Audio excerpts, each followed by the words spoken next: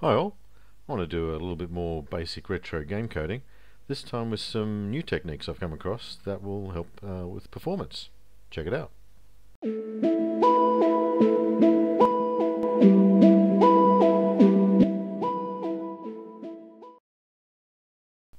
What prompted this video is something by Joseph, uh, excuse the pronunciation if I got that wrong, from Joseph's Retro Bits, where he's uh, come up with a way to use a call to the kernel to scroll um, text characters downwards. And as you can see towards the end there and when we get back to the beginning of the uh, screen there it scrolls down. That's uh, that's what I'm talking about. That's from Joseph's retro bits. I've added to that uh, the ability to shift everything to the right and to the left.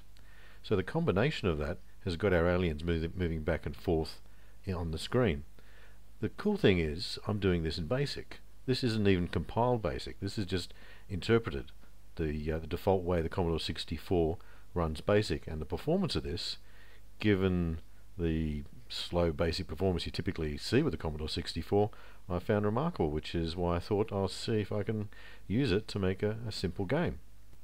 I'll start with how I've created some of the graphics and how I've moved it around the screen. The aliens are just stored in string variables, so a1 string is this guy. And to move him around, I'm using I string and J string. I to insert and J I'm using to delete. And the way I'm uh, using it is um, these characters represent keystrokes in effect. This is a bit like a keyboard macro if you like. And uh, they, they're just far from intuitive. These are just the characters that uh, the Commodore 64 uses to represent the character, the keys uh, used. So for instance here for the insert I would insert space move down and move back. And then uh, I'll show you how I then go through and do the same thing again. Sorry insert space down and back. And that's how I've moved him uh, one character to the right. And to move him back it's backspace down. Oh I've messed him up a bit there but I think you get the idea. There he is and so that's the insert uh, string. That's the delete string. In this case I've actually had to use a character have to use a character string for the uh, the backspace. Then I use a for next loop to uh, uh make i2 string 23 instances of this um, key sequence if you like to go down the whole screen and either shift everything to the right or to the left. So i2 string shifts everything to the right J2 string shifts everything to the left. I'll explain the rest of the code in the CBM PRG Studio where it's far more uh, easily uh, easy to read because of the, the layout's a lot better. But uh, the reason I showed you the uh, character string section on the Commodore 64 is this is what what it looks like on the CBM PRG Studio. It's even uh, less intuitive than what we saw on the CBM on the sorry on the Commodore 64. So I'll just go through the um, functionality. It's, it's, it's pretty straightforward and uh, it's not a full uh, functioning game but um, I've gone as far as I can while maintaining some reasonable performance and uh, I'll expand on that later. I'm not going to go through a lot of the functionality such as uh, how sprites work um, and that sort of thing but uh, I'll just focus on the, the, the, main functionality about the motion of the graphics that uh, is I think the key thing in, in this bit of code today. So I set up the video memory and color memory. Um, I'm setting up a black border and screen. I'm setting up the sprites and I'm reading the sprite data using the read command which I've got down the end here. This is the uh, uh, sprite data for the uh, the alien ship and also the missile that uh, is fired. There's our alien ship there. And where were we? So once we um, set up the sprites, we then uh, set up the, uh, the, characters. That character section I just showed you is called here. Um, we've got a, some very basic sound effects, some explosion sounds that I've set up. Um, I won't go into how to uh, program the, the SID, but um, it's all it's all there if you want to go through it. And the intro screen is at 2000. Let's have a quick look at that. Um, that doesn't make a lot of sense. Actually, I might just pop back into where it would look on the Commodore 64. Might make a little bit more sense. So, as you can see, PETSCII Raiders. These are just the characters, the ASCII characters. And if you want to learn more about that, I've got uh, another video on my channel that goes into uh, into how I set up PETSCII characters and how they're used in these games. So back up to here. So that sets up the intro screen.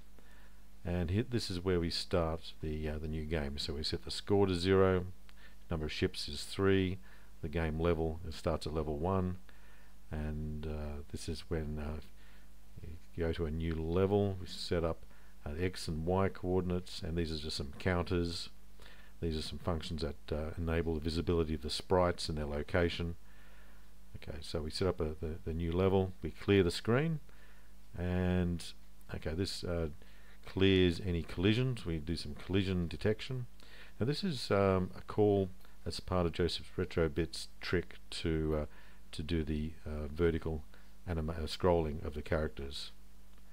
And if we go uh, to 5100, what do we do there? We just set up the, the banner where we've got the score, high score uh, details along the, the top of the screen, the header if you like.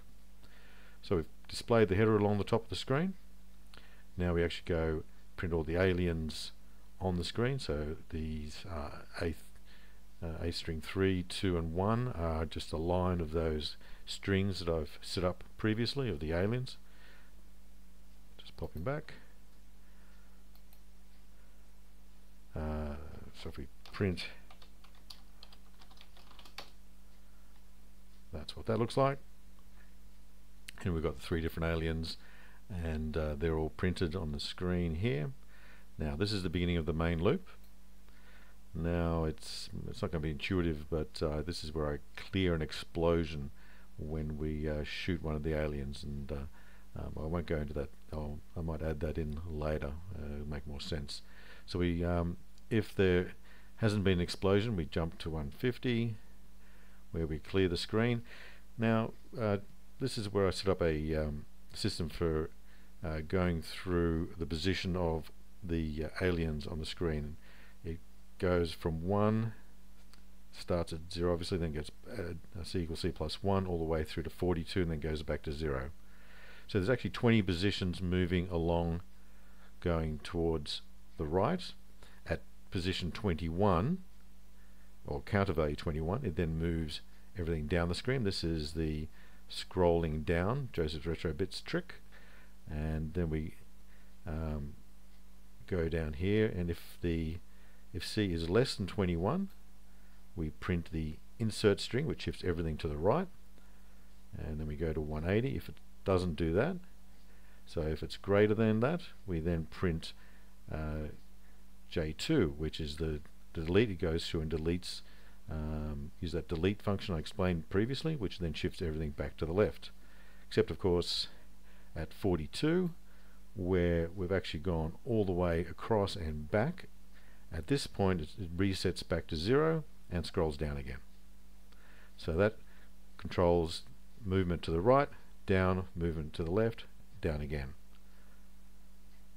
Okay, so uh, this is if we've fired a missile, then we go through uh, the actual coding to shoot the missile, which is uh, another sprite.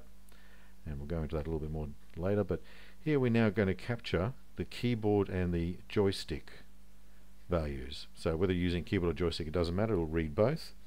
And the uh, these if commands will uh, read either the keyboard or the uh, joystick and then increment the x value or decrement depending on if you're going right or left uh, the position of the uh, the ship that you saw down the bottom of the screen this guy here, which is a sprite. And these are just if we've hit the far right. In fact, for gameplay reasons, it doesn't allow you to go all the way to, to the right because you can kind of hide there to some extent. So it prevents you from hiding from the um, downward movement of the aliens. I've put some limits on how far you can move, or, so you can't go all the way right and all the way left. So if you get to uh, an x value of greater than 255, which would obviously uh, cause an error, it then throws it back to 255, less than 99 goes back up to 100. Now we're seeing if the fire button or key is pressed and in which case we uh, say uh, set the FY value to 210 that's uh, the Y position on the screen for the sprite uh, once that's set to a value it also means uh, it's uh, triggering the, the routine to process that firing of the missile and it also sets the X value for the missile to be the current X value of the, the sprite, the, the spaceship. We then go and set the uh, position of the spaceship and if a missile has been fired, so Fy is greater than zero, so I've, I've, as I've explained here, once the value for Fy has been set, it'll go and move the missile. If the Fy value is minus one, then that means that um, there's been a collision detection and we're going to uh, uh, show a bit of an explosion on the screen to uh, delete some of the characters of the aliens. Okay, this is the uh, peek to detect if there's a, been a collision and if it has it will uh, go to 1600 so this is a collision between the ship and the aliens. And that's the basic main loop of the code. From here it goes back up to 120 and goes through this again. So the routines called here is um, this is uh, Joseph's uh, trick to scroll down the screen. Uh, this prints the header and uh, got some collision detection here that's part of the motion of the missile. The Fy, the Y value on the screen for the missile is uh, decremented by 9, sorry 14 till it gets to 75 in which case Fy value is then set back to 0 effectively disabling the missile and this is this somewhat convoluted formula gives me a screen location um, where uh, the sprite was when the collision was detected this is kind of important because this is uh, I need this value in the on the screen memory so I can uh, clear out the uh, all the characters for the alien before I cleared out those alien characters I uh, uh, set up a bit of an explosion first. And here we um, BP is a value that uh, uh, sets the pitch for the explosion sound. I've got uh, the I use the same explosion sound routine based on whether the missile collides with the alien or whether the spaceship collides with the alien. Uh, so it's got a bit of a different bang sound and effect. So this is now where we're going to uh, use that variable. This variable where I've calculated the uh, screen memory location of where the sprite collided with the uh, the sprite of the missile, sorry, collided with one of the aliens, and it'll just poke to that location a uh, bunch of explosion-looking type characters.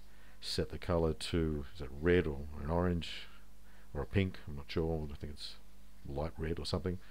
And then we, uh, once that's been set, we set the fy value back to minus 1 indicating that we've got the explosion uh, we increase our score by 10 we uh, clear the um, location or clear the sprite by moving it out of the uh, visible screen area.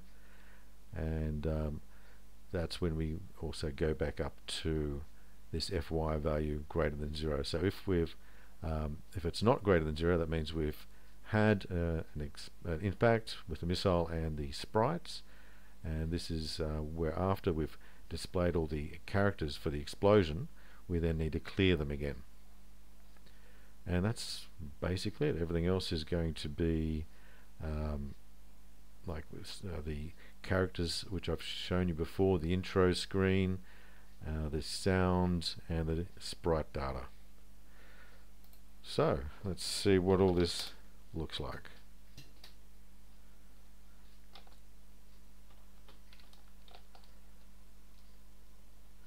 I've disabled the sound just so it doesn't get too annoying. So as you can see the animation based on all those characters um, that I've set up are just being rendered to the screen giving us all the, the motion and the sprites are, are used for the ship and the missile and the pokes to the screen memory are giving us the explosion between the missile and our aliens. And the trick of this game is just to destroy all these aliens before they come down and make contact with our spaceship. I didn't go as far as including any ability for the aliens to fire back. That would have put too much load on the game. My aim here was to see what I can do within the basic interpreter. Uh, I have compiled this and it runs super fast as I'm sure you can imagine and there's certainly scope to make this into a bit more of a game um, if uh, you wanted to. Um, I'm using the Boss Basic compiler and um, it will require a bit of tweaking with the code because it does introduce a few glitches but nothing that I'm sure can't be uh, fixed pretty easily. So yeah, this could be expanded into a um, quite an interesting game if, uh, if someone wants to take it a step further. I've just wanted to see what I can do with it as far as keeping it within Commodore 64's uh, internal basic interpreter. But one interesting thing I found is that if I just um, sit there and press a space key, and in fact I've added an auto fire routine, and don't actually uh, move the spaceship, firstly it's uh, you don't get too bad a score playing the game, but one curious thing is that the score tends to vary, but there is no actual change in the gameplay, and it should logically produce the same score at the end of the day, but it doesn't. And I don't know why. So if anyone out there has any idea, um, feel free to download it. I'll, uh, I'll have a, a link to it in the comments below. Give it a try. Now this uh, has occurred on the real hardware and also the um, uh, VICE emulator. So very strange. Let me know what you think. Uh, like, like and subscribe and all that. Thanks for watching.